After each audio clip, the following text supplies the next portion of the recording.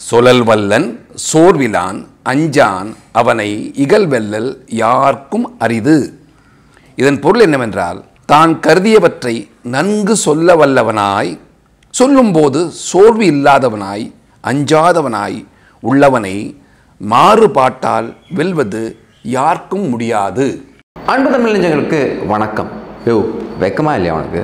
வெக்கமே இல்லையாடா உனக்கெல்லாம் அப்படின்னு நீங்கள் யாரை பார்த்து கேட்பீங்க? சாதாரண மக்கள் ஏதாவது தப்பு பண்ணக்கூடிய மக்கள் இல்லை வந்து கான்ஸ்டண்ட்டாக சமூகத்துக்கு விரோதமாக செய்தப்பட்டிருக்கக்கூடிய ஆட்கள் இல்லை ரொம்ப தவறாக செயல்பட்டுக்கிட்டு இருக்கக்கூடிய சில நபர்கள் இவங்களை பார்த்து வெக்கமே இல்லையா உனக்கு அப்படின்னு நீங்கள் கேட்கலாம்.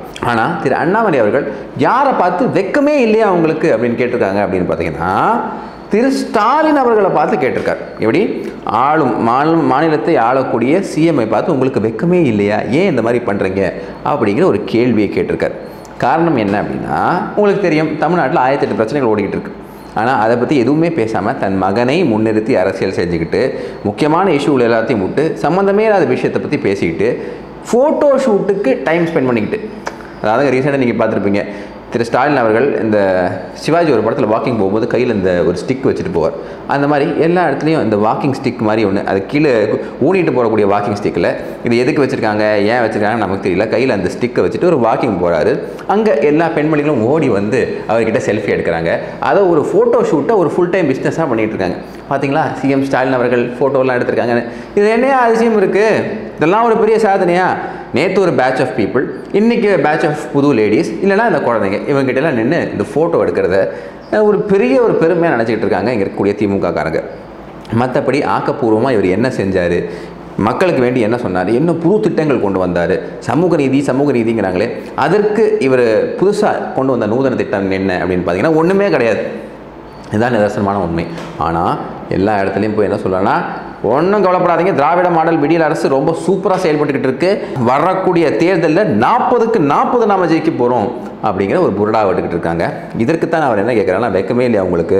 மக்கள்கிட்ட போய் கேட்டு பாருங்கள் நாற்பதில் அந்த நாள் எடுத்திங்கன்னா ஜீரோ தான் ஜெயிப்பீங்க. நெகட்டிவ் மார்க்கிங் மக்கள் உங்களுக்கு கொடுத்துருக்காங்க அப்படிங்கிற விஷயத்த சொல்கிறார் இது எங்கே சொல்கிறாருன்னா தருமபுரியில் பேசும்போது. ஸோ இப்போல்லாம் திரு அண்ணாமலை அவர்களோட அட்டாக் அதுவும் குறிப்பாக நான் ஏற்கனவே உங்களுக்கு சொல்லியிருந்தேன். பல பேர் பல பொலிட்டிக்கல் அனாலிசிஸ்லாம் பண்ணுவாங்க. பட் நான் சொல்லக்கூடிய விஷயங்கள் எல்லாமே நீங்கள் பார்த்தீங்க அப்படின்னா அது வந்து என்ன நிதர்சனமோ அதற்கு பக்கத்திலே இருக்கக்கூடிய விஷயம் சொல்வேன். நமக்கு எந்த விதமான பயமும் கிடையாது. திரு அண்ணாமலை அவர்கள் இனிமேல் எல்லாரையும் விட்டுட்டு ஃபஸ்ட்டு ஃபேமிலி அட்டாக் பண்ணுறதுக்கு முயற்சி பண்ணுவார் அப்படிங்கிற விஷயம் நான் உங்களுக்கு சொல்லியிருந்தேன். இது நடக்குதா இல்லையா? திரு ஸ்டாலின் அவர்களை சொல்கிறாரு திரு உதயநிதி ஸ்டாலின் அவர்களை சொல்கிறாரு ஆனால் அதற்காக மற்ற அமைச்சர்களை இல்லை மற்ற எம்பிகளை அட்டாக் பண்ணுவாங்களான்னா அதையும் பண்ணி தான் ஆகணும். ஆனால் முதல்ல விட இப்போ நிறைய ஃபோக்கஸ் இங்கே இருக்கும். காரணம்னா டுவெண்ட்டி டுவெண்ட்டி ஃபோர் நமக்கு பக்கத்தில் வந்துக்கிட்டே இருக்கு. அந்த மற்ற அமைச்சர்கள் எம்பிகளை பற்றி பேசக்கூடிய கட்டாயம் திரு அண்ணாமலை அவர்களுக்கு ஏன் வருது அப்படின்னு பார்த்தீங்கன்னா இவங்கெல்லாம் அந்த ஆனியன் லேயர் இருக்காங்க பார்த்தீங்கன்னா first layer second layer third layer அவங்கெல்லாம் அப்பப்போ வந்துகிட்டே இருப்பாங்க. வருவாங்க திரு அண்ணாமலை அவர்கள்ட்ட பதிலடி வாங்குவாங்க போய்கிட்டே இருப்பாங்க. நெக்ஸ்ட் நெக்ஸ்ட் நெக்ஸ்ட் அப்படின்னு தான் அவர் டீல் பண்ணிக்கிட்டு இருக்காரு. அங்கே இப்போ அவர் பேசக்கூடியது யார் அப்படின்னு பார்த்தீங்கன்னா நம்மளோட செங்கல்வராயனை பற்றி பேசியிருக்காரு. செங்கல்வராயன் அப்படின்னு பேசும்போது என்னையா அவர் செங்கல்வராயன்கிறாரு? ஒருவேளை அந்த செங்கல் சைக்கோவாக இருக்குமா? அந்த வேலையே இல்லாத அந்த செங்கல் சைக்கோ பையலை பற்றி பேசுகிறாரா அப்படின்னு இந்த ஃபோட்டோ நான் காட்டுறேன் பார்த்தீங்களா கையில் செங்கல் வச்சுருக்காரு. அவரை பற்றி பேசுகிறாரா அப்படின்னு நினச்சேன். அவர் கிடையாது. இவர் யாரை பற்றி பேசியிருக்காரு அப்படின்னு பார்த்தீங்கன்னா நம்ம உதயநிதி ஸ்டாலின் அவர்கள். ஒன்றும் இல்லைங்க. இந்த ஏம்ஸ் இந்த ஏம்ஸ் மதுரைக்கு இந்த கல்லை வச்சு தான் இங்கே இந்த கல்லை வச்சு இந்த ஏம்ஸை காணும் அப்படின்னு சொல்லிட்டு காமெடி பண்ணுறேன் அப்படிங்கிற பேரில் ஓகே ஓகேல காமெடி பண்ணோம். அந்த படத்தில் காமெடி பண்ணல.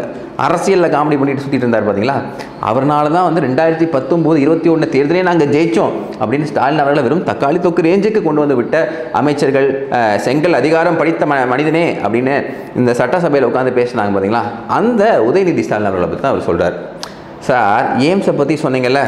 ஏம்ஸை பற்றி போ- சொல்லும்போது என்ன சொன்னீங்க? சார் இந்த செங்கலை வச்சு பெரிய புரட்சி பட படைச்சிட்டாருன்னு. இதே மாதிரி தான் ரெண்டாயிரத்தி எட்டில் திமுக ஒரு வாக்குறுதி இதே தருமபுரியில் கொடுத்துச்சு. இங்கே நாங்கள் சிட்கோ கொண்டு வரோம் அப்படின்னு சொல்லிட்டு. அதே செங்கலை வச்சு செங்கல் ராயன் அவர்களே எங்கே நீங்கள் வாங்க வந்தால் இங்கேயும் ஒரு புரட்சி பண்ணுங்க. அப்படின்னு திமுகவோட இரட்டை வேடம் இருக்குது பார்த்தீங்களா முகத்திரையை கிழிக்கிறார் திருவண்ணாமலை அவர்கள். முதலமைச்சர் அவர்களே உண்மையாலும் கேட்கின்றேன் உங்களுக்கு வெட்கமா இல்லையா? உண்மையாலும் கேட்க உண்மையாலும் கேட்க. இருபது மாதம் ஆட்சியில் இருந்திருக்கின்றீர்கள். நூறுன்னு சொல்லி எண்பது செஞ்சாவே மக்கள் ஏற்றுக்கொள்ள மாட்டார்கள். ஜனநாயகத்தில் அந்த மனிதனுக்கே மரியாதை இல்லை. நூறுன்னு சொல்லி எண்பது செஞ்சாவே மரியாதை இல்லை. நூறுன்னு சொல்லி ரெண்டை செஞ்சிருக்கீங்க. ரெண்டு.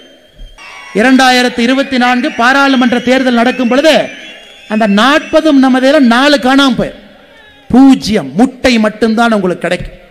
நீங்க முதலமைச்சராக இருக்கிறதுக்கு மக்கள் மார்க் போட்டாங்கன்னா பூஜ்ஜியம் கூட சரியில்லை. நெகட்டிவ் மார்க்கிங் போடணும். பூஜ்ஜியத்துக்கு கீழே மார்க் இருக்கா? இந்த இளைஞர்கள் வேலை வாய்ப்பு இல்லாமல் எங்கே போவாங்க? எங்கே போவாங்க? தருமபுரி ஒரு பக்கம் நீங்கள் சென்னையில் உட்கார்ந்துட்டு பிற்படுத்தப்பட்ட மாவட்டம் பிற்படுத்த மாவட்டம் எதுவுமே இல்லைன்னா நீங்கள் வேலை வாய்ப்பை உருவாக்கி கொடுக்கலைன்னா எங்கே போவாங்க? இரண்டாயிரத்தி நான்கில் கிருஷ்ணகிரி இங்கே இருந்து பிரிந்த பொழுது திமுக ஆட்சிக்கு வர்றாங்க இரண்டாயிரத்தி ஆறில். அப்போ எட்டில் திமுக அரசு சொல்லுது நாங்கள் தருமபுரி மாவட்டத்தில் ஆயிரத்தி எழுநூற்றி எண்பத்தி மூன்று ஏக்கரில் சிப்காட் அமைக்க போகிறோம் அதில் தொழில்துறையை கொண்டு வர போகிறோம் இன்னைக்கு பட்டத்திலவரசர் உதயநிதிட்ட கேட்குற இங்கே வந்து அந்த செங்கலை காட்டுங்களேன். இந்த ஆயிரத்தி எழுநூற்றி எண்பத்தி மூன்று ஏக்கர் தருமபுரி பகுதியில் சிப்காட் நடத்த போகிறேன்னு இரண்டாயிரத்தி எட்டில் உங்களுடைய தந்தையார் உங்களுடைய தாத்தா சொன்னாங்க. இன்னைக்கு பட்டத்திலவரசர் இங்கே வந்து நீங்க ஏதாச்சும் செங்கல் வச்சிருக்கீங்களான்னு கொஞ்சம் தொலை பாருங்க. ஒரு சிப்காட்டை காணா ஒரு நிறுவனத்தை காணா ஒரு வேலை வாய்ப்பை காணும் அதனால்தான் இங்கே இருந்து இருபத்தி ஐந்தாயிரம் சகோதர சகோதரிகள் டெல்லியில் ஆர்கேபுரத்தில் அந்த குளிரில் வெயில் இருக்காங்க. ஒரு பக்கம் பெருமையாக இருந்தாலும் கூட இன்னொரு பக்கம் சங்கடமா இருக்கு. இன்னொரு பக்கம் சங்கடமா இருக்கு. ஊரை விட்டு வேலைக்காக போடும் பொழுது வேலைக்காக மட்டும் போகலைங்க மூதாதையர்கள் தாத்தா பாட்டி ஆயிரம் காலமாக வாழ்ந்த கிராமத்திலிருந்து எவ்வளவு கடினமான மனதோடு இங்கே இருந்து சென்றிருப்பாங்க. ஒரு ட்ரெயின் ஏறி இருப்பாங்க. எவ்வளவு கடினமான மனத்தோடு. யாரும் சந்தோஷமாலாம் போக மாட்டாங்க. அடுத்தது இதே தருமபுரியில் பேசும்போது நம்ம அண்ணன் கே நேரு அவர்களை பற்றி பேசுகிறார் ஏன் இந்த நேரத்தில் இது ரொம்ப முக்கியம் அப்படின்னு பார்த்தீங்கன்னா திரு உதயநிதி ஸ்டாலினுக்கு நிறைய போர்ட்ஃபோலியோஸ் கொடுக்கப்பட்டிருக்கு. இந்த டிஆர்ஐ அதுக்கப்புறம் இந்த ஸ்போர்ட்ஸு இந்த மாதிரி நிறைய போர்ட்ஃபோலியோ கொடுக்கப்பட்டிருக்கு. ஒவ்வொருத்தர்கிட்ட கொஞ்சம் கொஞ்சம் எடுத்து கொடுத்துருக்காங்க. இதில் ஹைலைட் என்னென்னா திரு அன்பில் மகேஷ் பொய்யாமொழி அவர்கள் திருச்சி ஸ்ட்ராங் மேன் அன்பில் மகேஷ் பொய்யாமொழி அவர்கள் ரொம்பவே இவரை துதிப்பாடிக்கிட்டு இருக்கார் இவர் டெப்யூட்டி சிஎம்க்கு ஈக்குவலுங்க அப்படின்னு பேசிக்கிட்டு இருக்கும்போது திரு கே நேரு அவர்கள் என்ன சொல்றாருன்னா சார் நாங்கள் கருணாநிதிக்கு ஜெய போட்டோம். அதுக்கப்புறமா ஸ்டாலின் அவர்களுக்கு ஜெய போட்டோம். அப்புறமா உதயநிதி ஸ்டாலின் அவர்களுக்கு வாழ்க சொல்வோம் ஏன் இன்பன் உதயநிதி ஸ்டாலின் அவர்கள் வந்தாலும் நாங்கள் வாழ்க சொல்வோம் அப்படிங்கிற அளவுக்கு கம்பல் பண்ணப்படுறார். எங்கேருந்து அந்த கம்பல்ஷன் வருதுன்னா இந்த க்ளோஸ்னஸ் தான் இந்த ப்ராக்சிமிட்டி தான். அதாவது திரு உதயநிதி ஸ்டாலின் அவர்களும் திரு அன்பில் மகேஷ் பொய்யாமொழி அவர்களும் ஃபஸ்ட்டு ஃபஸ்ட்டு மினிஸ்டர் கொடுக்கணும் அப்படின்னு ஆரம்பிச்சது அன்பில் மகேஷ் பொய்யாமொழி தான். இப்போ டெபுட்டி சிஎம்க்கு ஈக்குவல் அப்படின்னு சொல்கிறதும் அன்பில் மகேஷ் பொய்யாமொழி தான். திருச்சியில் இவங்க ரெண்டு பேருக்குள்ள ஒரு கான்டெஸ்ட் யார் ஸ்ட்ராங் மேன் வந்துருச்சுன்னா அது அவரோட ஃபேவரை டிப் ஆகிடக்கூடாது சார் அவரால் அப்படி தான் சொன்னார். நான் உங்கள் பையனையே வந்து பட்டாபிஷேகத்துக்கு ரெடியாக இருக்கேன் சார் அப்படிங்கிற மாதிரி அவர் பேச தள்ளப்பட்டிருக்கார். ஸோ திமுகவில் காம்படிட்டிவ் பர்ஃபார்மன்ஸ் அப்படின்னா யார் நிறைய துதி பாடுறா அப்படிங்கிற அளவுக்கு தான் ஆனால் பாருங்க திரு நேரு அவர்களை பற்றி பேசும்போது நம்ம அண்ணாமலை அவர்கள் என்ன சொல்கிறார் அப்படின்னு பார்த்தீங்கன்னா சார் ஒகேனக்கல் ப்ராஜெக்ட் ஒரு ப்ராஜெக்ட் இவங்க பண்ணியிருந்தாங்க. அதில் ஃபஸ்ட்டு ஃபேஸ் வந்து ஃபெயிலியராக போச்சு. ப்ராஜெக்ட் ஒன் வந்து ஃபெயிலியராக போச்சு. ப்ராஜெக்ட் டூ வந்து நாலாயிரத்து ஐநூறு கோடிக்கு ரெடி பண்ணிகிட்டு இருக்காங்க. நாலாயிரத்து ஐநூறு கோடியில் ஒரு பர்சன்ட் வந்தால் கூட திரு கே என் நேரு அவர்கள் காட்டில் மழை தான் அப்படிங்கிறத அவர் சொல்கிறார் ஆனால் திரு அண்ணாமலை அவர்களுக்கு என்ன புரிய மாட்டேங்கன்னா பாவம் சார் அவர். அவரே எப்போ அன்பில் வந்து நம்மளை டாமினேட் பண்ணிவிட்டு மேலே போயிடுவாரோ? அப்படிங்கிற பயத்தில் இருக்கும்போது இது நாலாயிரத்தி ஐநூறு கோடியில் இதெல்லாம் எவ்வளோ பெரிய விஷயம்? காரணம் என்னென்னா இன்னைக்கு வாட்ச் எல்லாம் பார்த்தீங்கன்னா பதினாலு கோடிக்கு போட்டிருக்காங்க. நீங்களாவது மூன்று லட்சம் ரூபா தான். இவங்க பதினாலு கோடி. ஸோ அந்த அவங்களோட ரேஞ்சுக்கு ஏற்ற மாதிரி அவங்க விளையாண்டுக்கிட்டு இருக்காங்க. அதெல்லாம் நம்ம கேள்வி கேட்க முடியுமா? அப்படிங்கிற மாதிரி தான் சாதாரண மக்கள் ஃபீல் பண்ண ஆரம்பிச்சிட்டாங்க. ஏன்னா கரப்ஷன் ஒரு நான் இஷ்யூவாக இருக்குது பார்த்தீங்களா? அதை இஷ்யூ ஆகணும் அப்படிங்கிறது இவரோட ஏமா இருக்குது ஆனால் அது பண்ண முடியுமாங்கிறது ரொம்ப பெரிய சேலஞ்ச் காரணம் என்ன இப்போ மைண்ட் செட் ஃபிக்ஸ் ஆயிடுச்சு சார் போனா பத்து ரூபா அவன்கிட்ட கொடுத்தா வேலை முடிஞ்சிடும் சார் அப்படிங்கிற அளவுக்கு நம்மளை ட்ரெயின் பண்ணியிருக்காங்கல்ல. அதற்கு இந்த எல்லா கூட்டமும் இந்த என்டையர் கூட்டமும் காரணம். அதனால தான் இந்த நாலாயிரத்தி ஐநூறு கோடியில் ஒன் பர்சன்ட் அவருக்கு போனால் என்ன சார் போகாட்டினா எனக்கு என்ன? நான் போய் விவசாயம் பார்க்க போகிறேன் அதில் எனக்கு ஏதாவது பயன் இருக்கா? அப்படின்னு அந்த மனப்பான்மையை மாற்றுறதுக்கு இவர் முயற்சி பண்ணார் நடக்குமா இல்லையான்னு நமக்கு தெரியாது. நாலாயிரத்தி ஐநூறு கோடினா லட்டுங்களா அது? அதனால் சும்மாவாது அதனால் சாதாரணமாக வருமா? இருபது பர்சன்ட் வச்சிங்கன்னா தொள்ளாயிரம் கோடி. இருபத்தஞ்சி பர்சன்ட் வச்சா ஆயிரத்தி முந்நூறு கோடி. அதனால் கே நேரு அண்ண காட்டில் தான் மழை.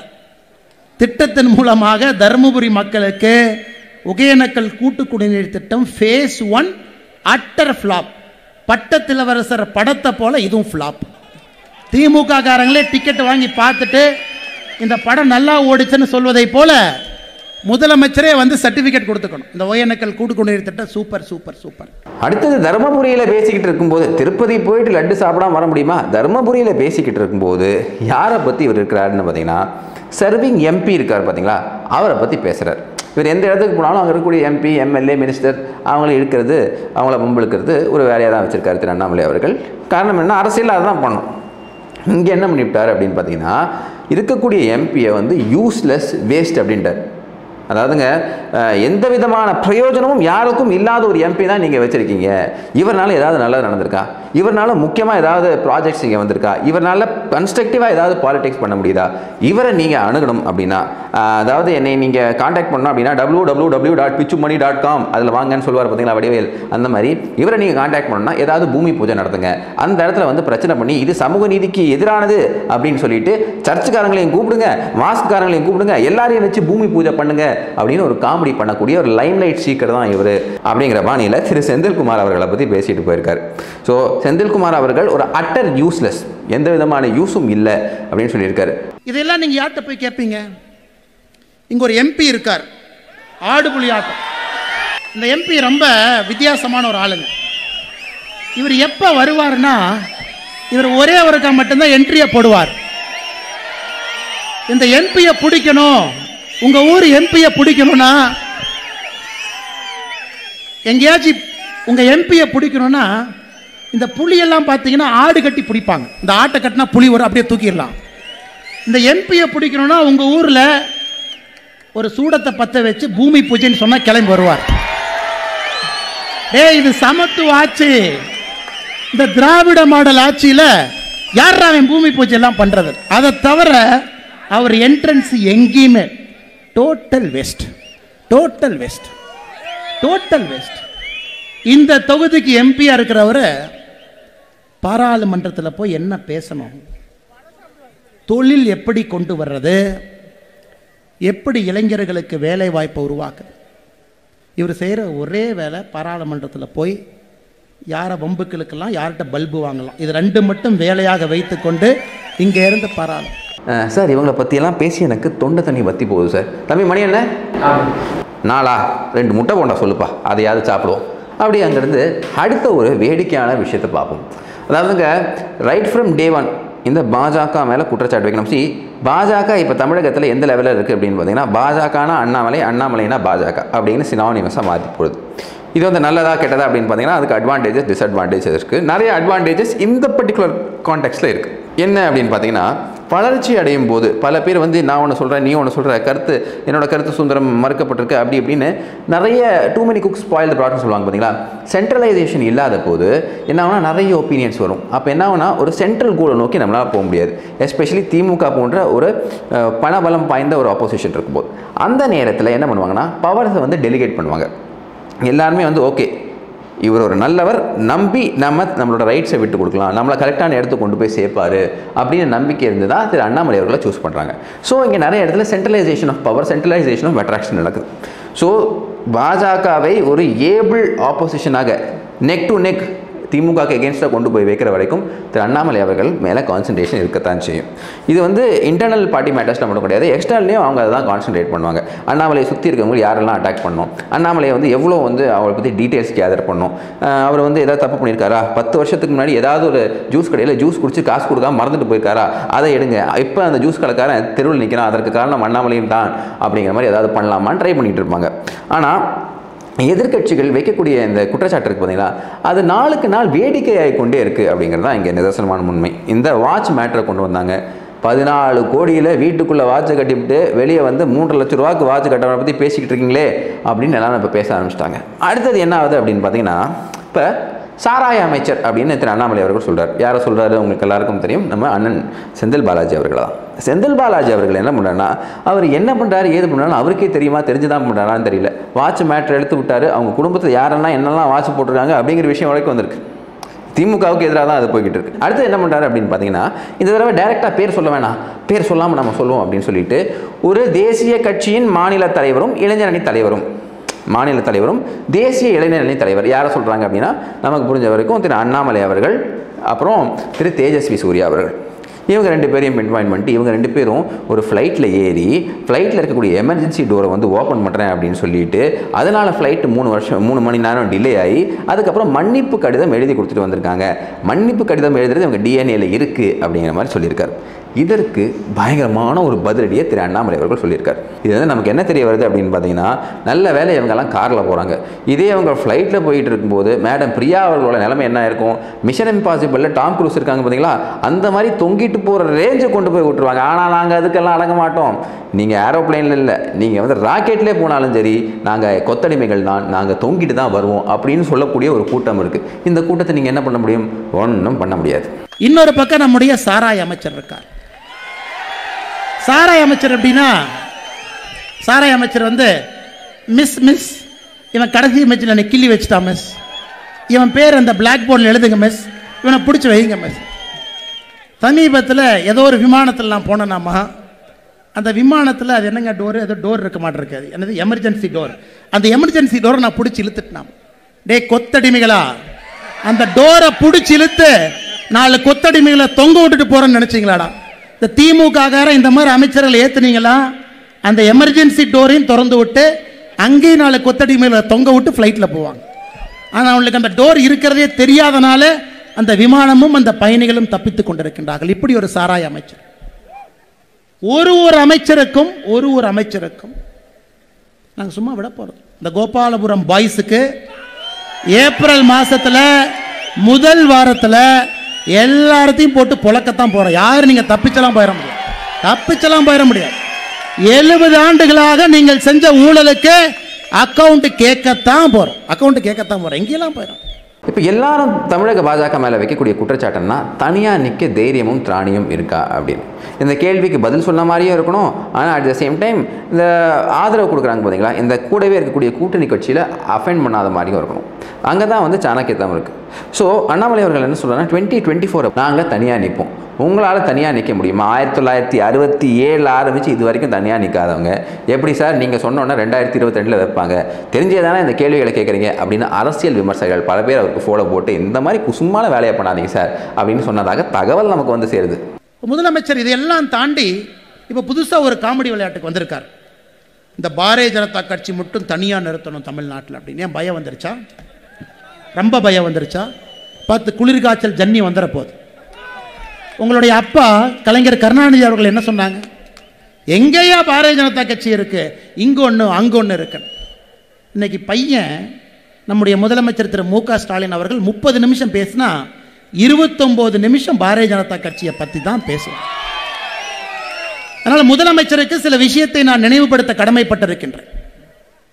இரண்டாயிரத்தி இருபத்தி ஒன்றில் நீங்கள் ஆட்சிக்கு வந்தீங்க ஜஸ்ட் பாஸ் ஜஸ்ட் பாஸ் ஆகி வந்தீங்க. பன்னிரண்டு கட்சிகளை கூட்டணி கட்சிகளாக துணையோடு உங்களால் நடக்க முடியாமல் நிற்க முடியாமல் அவங்கள பிடிச்சிட்டு இன்னைக்கு ஆட்சியில் உட்கார்ந்துருக்கு. அதிலும் கூட தமிழகத்தில் ஜாதி அரசியலை கொண்டு வந்தது திராவிடம் தான் அந்த ஜாதி கட்சிகளை உருவாக்கி அந்த ஜாதி கட்சிகளோட கூட்டணி வைத்து அந்த கட்சிகளோடு இன்னைக்கு ஆட்சிக்கு வந்திருக்கு. தமிழகத்தில் எல்லா கட்சிகளோடு கூட்டணி வைத்த பெருமை இருப்பது திமுகவுக்கு மட்டும்தான். யாரை விட்டு வைக்க. எல்லா கட்சியோட கூட்டணி. நீங்களும் யோசிச்சு பாருங்க. கம்யூனிஸ்டை விட்டு வைக்கல ஆயிரத்தி தொள்ளாயிரத்தி அறுபத்தி ஏழு. முதல் முறை ஆட்சிக்கு வந்த பொழுது கம்யூனிஸ்டோட கூட்டணி. ராஜாஜி ஐயாவை முதலமைச்சரா எதிர்த்தாங்க. ராஜாஜி ஐயாவோட கூட்டணி ஆயிரத்தி தொள்ளாயிரத்தி அறுபத்தி ஏழு சுதந்திர கட்சியோடு. அப்புறம் ஒரு கட்சி தமிழகத்தில் எடுத்துக்கங்க. இந்த கட்சியோடு திமுக கூட்டணி வைக்கலையான்னு பாருங்க. எல்லா கட்சியோட கூட்டணி. இரண்டாயிரத்தி இருபத்தி ஒன்று வரை தனியாக ஒரு எலெக்ஷன்ல திமுக நிற்கும் நீங்கள் என்று பாரதிய ஜனதா கட்சியை பார்த்து சொல்லுகின்றேன். உங்களுக்கு ஒன்றே ஒன்று ஞாபகப்படுத்து ஆயிரத்தி தொள்ளாயிரத்தி தொண்ணூற்றி ஆறில் பாரதிய ஜனதா கட்சிக்கு கிடைத்த முதல் எம்எல்ஏ தமிழகத்தில் பத்மநாபுரம் தொகுதியில் எந்த கூட்டணியும் இல்லாமல் தனியாக நின்று ஜெயித்து முதல் எம்எல்ஏ அன்னைக்கே வாங்கியாச்சு. இருபத்தி எட்டு ஆண்டுகளுக்கு முன்பு ஆயிரத்தி தொள்ளாயிரத்தி தொண்ணூற்றி ஆறில் வாங்கியாச்சு. அதனால் அதனால தான் ஸ்டாலின் ஐயாவுக்கு சொன்னோம் இரண்டாயிரத்தி இருபத்தி நான்கில் நீங்கள் தனியாக வந்தால் நாங்கள் ஆட்டத்துக்கு தனியாக வர்றோம். பார்த்துடலாம் பார்த்துடலாம் பார்த்துடலாம் நாங்கள் தயாராகி இருக்கின்றோம் எங்களுக்கு ஒன்றும் பயம் இல்லை. யாரோ முதுகுல தொங்கி சவாரி செய்ய வேண்டும் என்று இங்கே இருக்கக்கூடிய யாருக்கும் விருப்பம் கிடையாது. யாருக்கு? தேசியத்தை யார் ஆதரிக்கிறாங்களோ கொள்கை ரீதியில் நம்ம கூட்டணி இருக்கும். உங்கள் மாதிரி கம்யூனிஸ்ட் சுதந்திர கட்சி இங்கே அங்கே காங்கிரஸ் தமிழ் மாநில காங்கிரஸ் பாட்டாளி மக்கள் கட்சி இவங்க அவங்க. அப்புறம் பிஜேபி. அப்படிலாம் இல்லை.